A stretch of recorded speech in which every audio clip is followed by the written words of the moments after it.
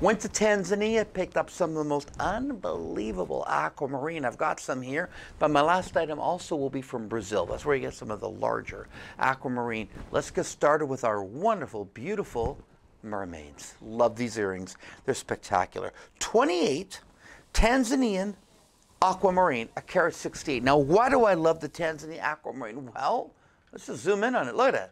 Look at that color. You think you can get that color from from Amazon, from uh, I'm sorry, aquamarine from uh, Brazil?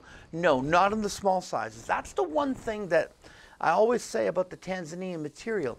It gives you incredible saturation even when the crystals are cut small. That is very unusual in the aquamarine family. Normally with an aquamarine, you get them below three millimeter, three and a half, there's no color anymore.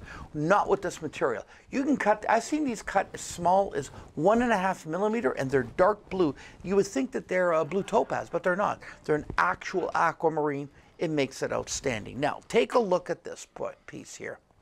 Just look at the color. I mean, come on, that's aquamarine. It's not blue topaz, that's aquamarine.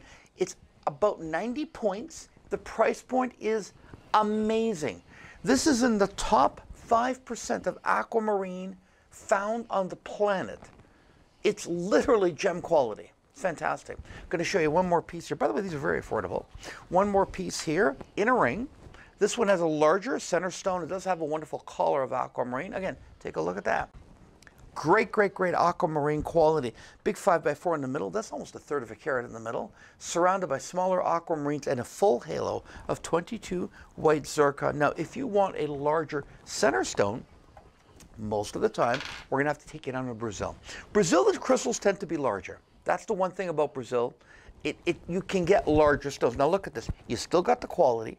You still got the great, great clarity. Less saturation. Usually for Brazilian material, we're going to get less saturation, but you're going to get a larger, clear center gemstone. That's a 10 by 8 coming in at 2.63 carats. So if you want a larger stone, you go to Brazil. But if you want that smaller, more saturated color, you can go to Tanzania.